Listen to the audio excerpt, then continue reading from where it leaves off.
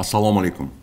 Prezidentimiz tomonidan joriy yil 31 oktyabr kuni imzolangan o'zbekiston respublikasining jinoyat kodeksiga hamda o'zbekiston respublikasining ma'muriy javobgarlik to'g'risidagi kodeksiga o'zgartirish va qo'shimchalar kiritish haqidagi qonun avvalo oilalar mustahkamligi va tinchlik osoyishtaligi osuda hayot barqarorligini ko'z qorachig'idek asrash gender tenglikni ta'minlash singari ezgu maqsadlarga xizmat qiladi.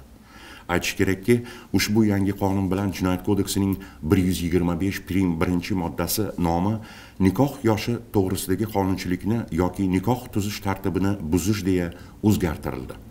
Ushbu moddaning uchinchi qismiga kiritilgan qo'shimchaga muvofiq nikohi qonunda belgilangan tartibda qayd etilmagan shaxslar o'rtasida. Shu jumladan nikoh yoshiga yetmagan shaxs bilan nikoh tuzishga doir diniy marosimni amalga oshirish shunday qilmish uchun ma'muriy jazo qo'llanilgandan keyin sodir etilgan bo'lsa bazaviy hisoblash miqdorining 75 baravaridan 150 baravarigacha miqdorda jarima yoki 300 60 soatdan 400 soatgacha majburiy jamoat ishlari yoxud 2 yildan 3 yilgacha axloq tuzatish ishlari bilan jazolanadi. Shuningdek jinoyat kodeksining 156 moddasi milliy irqiy etnik yoki diniy adovat qo'zg'atish deya nomlandi. Yangi qonun asosida ushbu moddaning birinchi qismi sanksiyasi bazaviy hisoblash miqdorining 300 baravaridan 600 baravarigacha miqdorda jarima yoki 2 yildan 3 yilgacha axloq tuzatish ishlari yoki 1 yildan 3 yilgacha ozodlikni cheklash yoxud 1 yildan 3 yilgacha ozodlikdan mahrum qilish bilan jazolanadi tarzida o'zgartirildi.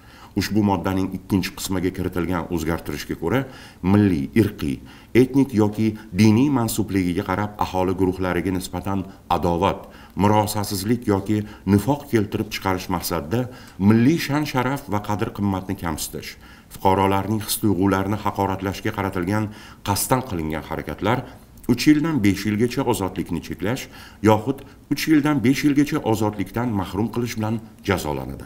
Bundan tashqari yangi qonun asosida ma'muriy javobgarlik to'g'risidagi kodeksning 473 moddasi nikoh yoshi to'g'risidagi qonunchilikni yoki nikoh tuzish tartibini buzish deya nomlandi. Ayni moddaning 3 qismi nikohi qonunda belgilangan tartibda qayd etilmagan shaxslar o'rtasida. Shu jumladan nikoh yoshiga yetmagan shaxs bilan nikoh tuzishga doir diniy marosimni amalga oshirish bazaviy hisoblash miqdorining 15 baravaridan 30 baravarigacha miqdorda jarima solishga sabab bo'ladi tarzida o'zgartirildi.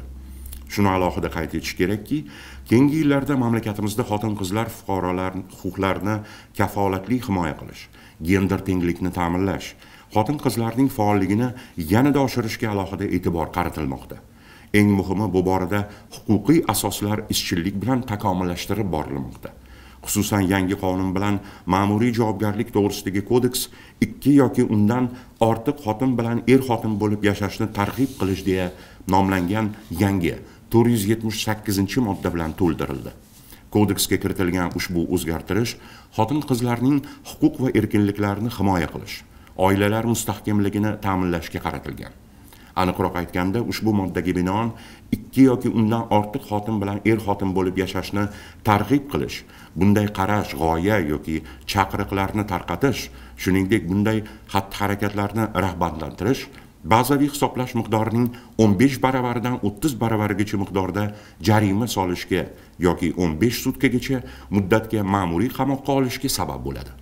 Bundan tashqari ma'muriy javobgarlik to'g'risidagi kodeksga kiritilgan jamoat joylarida shaxsini identifikatsiya qilish imkonini bermaydigan ko'rinishda bo'lish deya nomlangan 184 prim to'rt moddaga ko'ra jamoat joylarida shaxsini identifikatsiya qilish imkonini bermaydigan darajada yuzini to'sgan holda bo'lish bazaviy hisoblash miqdorining 10 baravaridan 15 baravarigacha miqdorda jarima solishga sabab bo'ladi.